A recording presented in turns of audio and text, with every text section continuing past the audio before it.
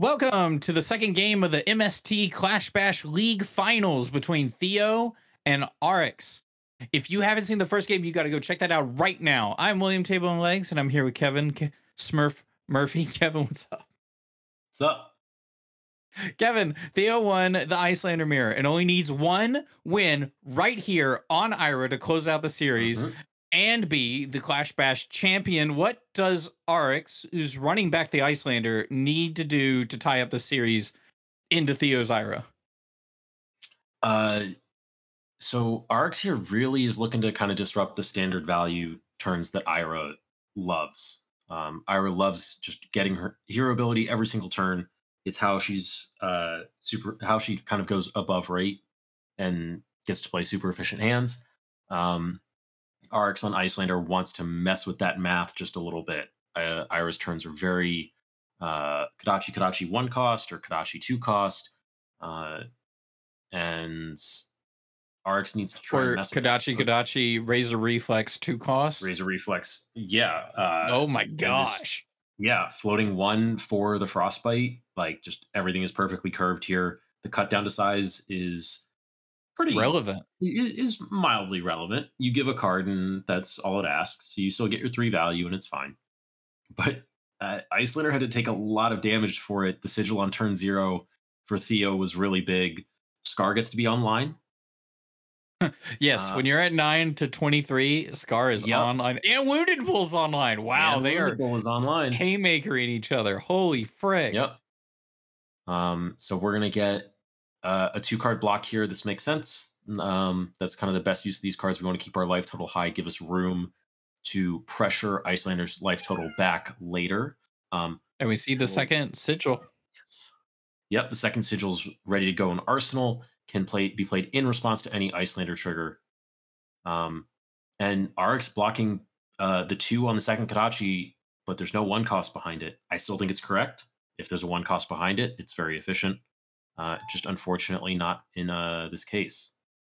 I want to give a huge shout out to Yeah. Aryx again sitting on this arsenal for multiple turns. Did something similar in the last game. Yeah. Yeah. I wonder if they put an Um, awkward last time it seemed like they what did they put in there? I already forgot. Um I oh they have a sigil. Sigils everywhere. Uh, I was going to give a big shout out to everybody watching. Thank you so much for tuning into the Clash Bash League, especially Gordon. Special guest appearance. Yeah. We'll hear him in the background maybe as he yells at me. Ooh, here we go. Yellow Ice Fang. Put Yellow Ice Fane, four arcane damage, uh, three arcane barrier on Ira. Yep. This is interesting. So we're gonna we're gonna AB one and then we're gonna pay two for the effect of Ice Vein. Two from Waning Moon is gonna come in uh, with the Ice Bolt that we fused with. We're not gonna AB any of that. We're gonna keep some uh, some damage here, and we're gonna do we're gonna kind of set up our lethal turn. It looks like uh, Kodachi Kodachi Snatch.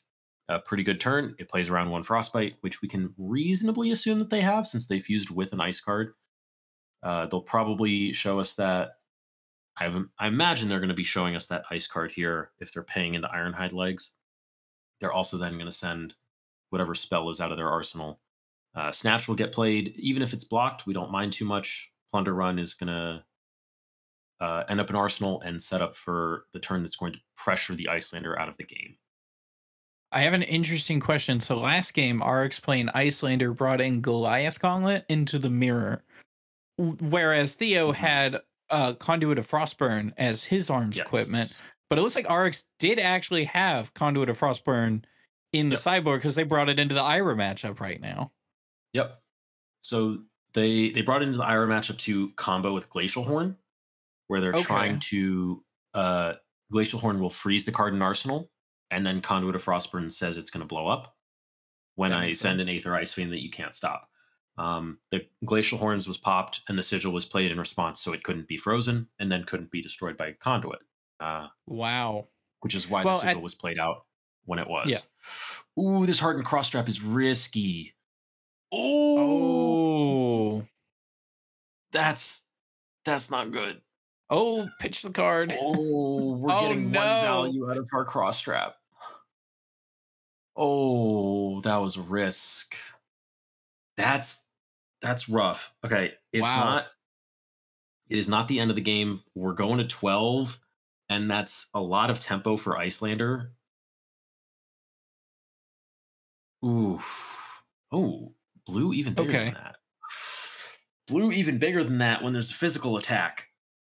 That doesn't block very well. Now do it. It sure doesn't. Uh, so back to Frostburn, it has Quell, which actually does, I guess, come up in this matchup. If Ira gets to do the Kodachi Yeah. Kodachi something, uh, one card equals three value, especially if it's like a blue that would typically block for two, right?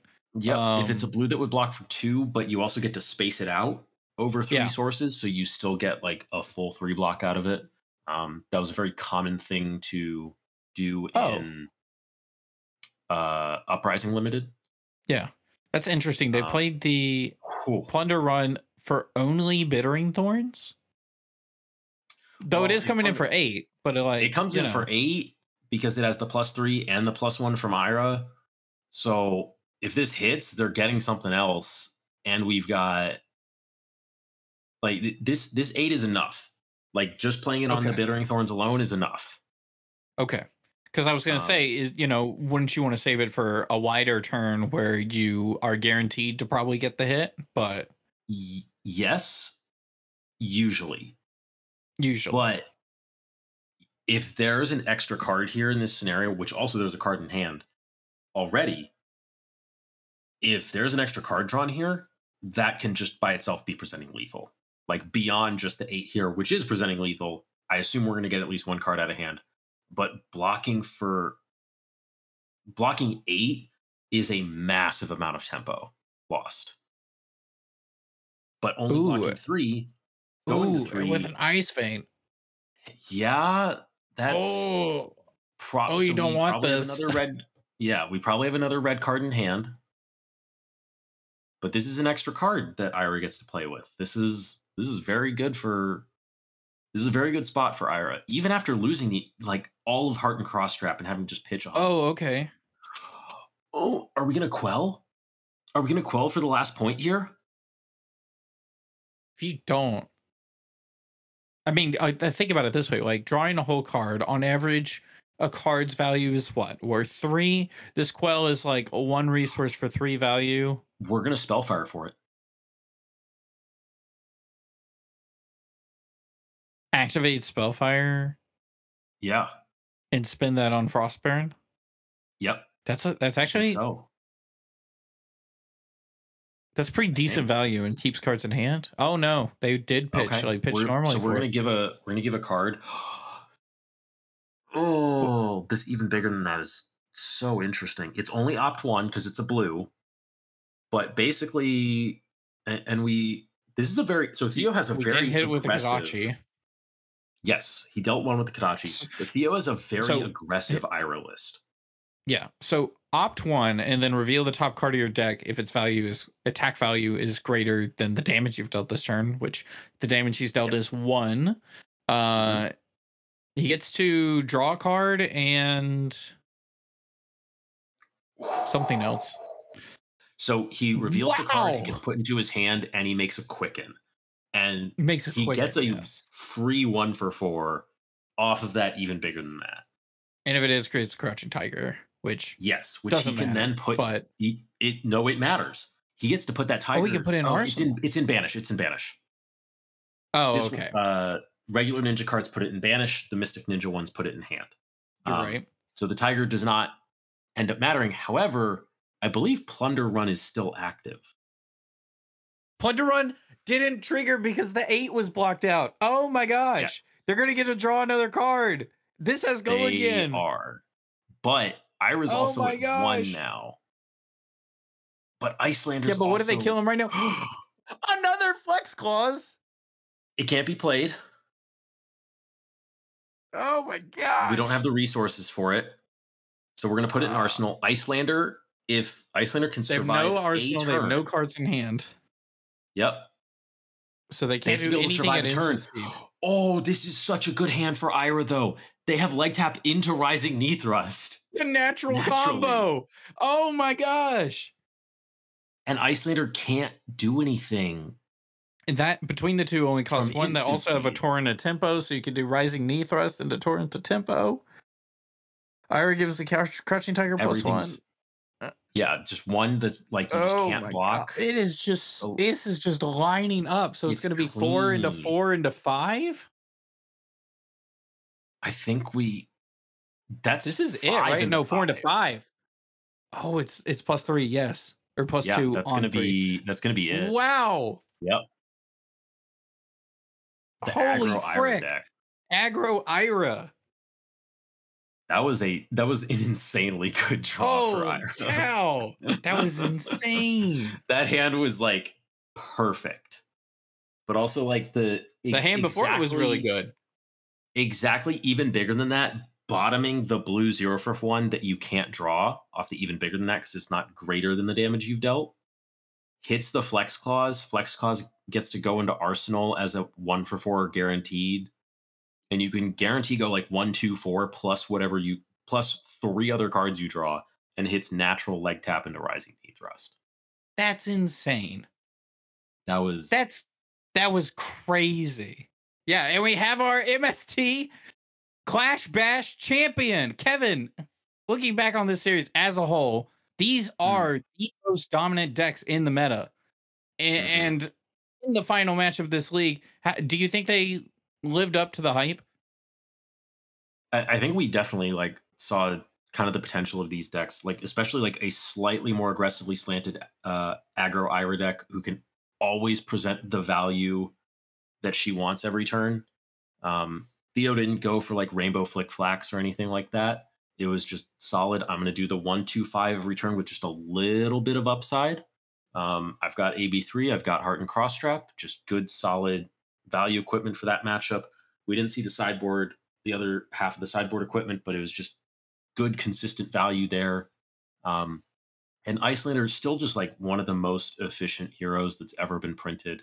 Uh, just getting a free action point every turn is so good, especially when some of your blues are as efficient as hers are.